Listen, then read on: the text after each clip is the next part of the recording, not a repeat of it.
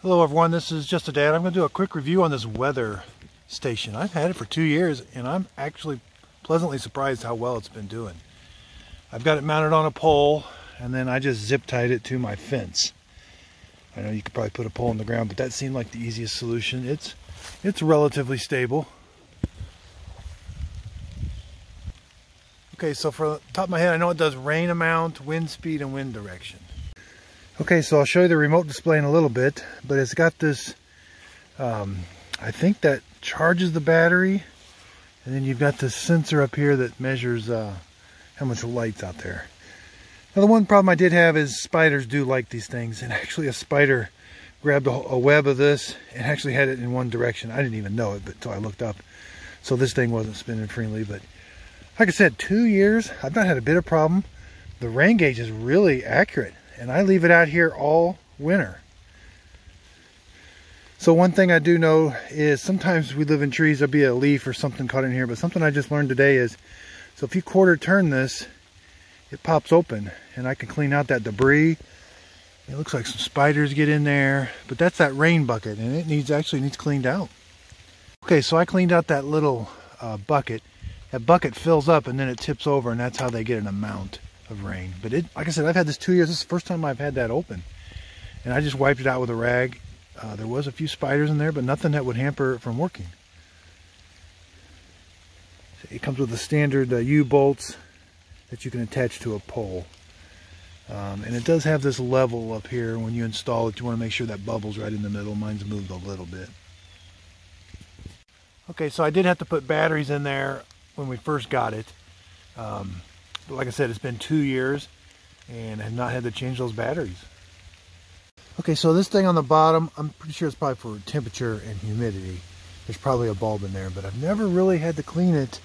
Like I said, it's got spider webs around it, but this thing stays relatively clean. Okay, so here's the weather station that's inside, and I want to show you it's powered off right now.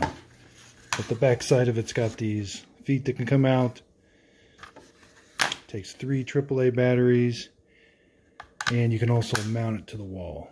But you're also going to, this power supply comes with it, which you're going to want to plug it in all the time because it's really dim if you don't have it powered on.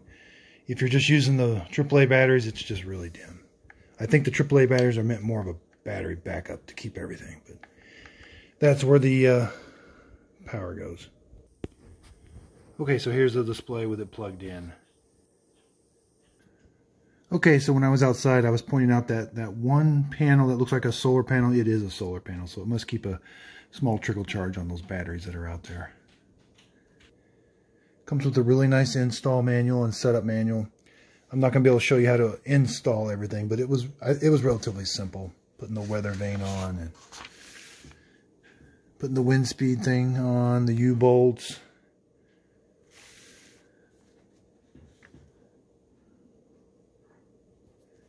Okay, here's something I don't remember, but I must have, so you put two AA batteries in the unit outside, and it says the uh, LED indicator on the back of the transmitter will turn on for 4 seconds, then flash every 16 seconds.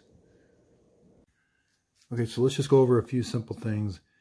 This thing does connect to your Wi-Fi, and that's your Wi-Fi signal strength meter. And this thing also has an RF, so your outdoor temperature and humidity, but this is also how well it's it's uh, communicating with the outdoor sensor. And of course you got wind speed and wind direction, how much rain. This light, I've never really used that, or the UV index, barometric pressure, and indoor temperature and humidity. It gets it from this actual unit. Okay, so one thing I want to point out is these buttons on the front, they're really sensitive. So you just got to barely press it. What that's going to let you do is going to let you walk through uh, different, like the rain. It's for the week, the month, total so far since I've had this thing installed, rate, and event, and day. And same with the wind, it's going to go through gust and different. So you got to make sure, because you got to make sure you want to leave this on like what the current wind direction is. Same with the temperature. It's got dew, heat, chill. So I've, I've noticed before that I've left it in like dew or chill or something. So you got to make sure you leave it on what you want to see.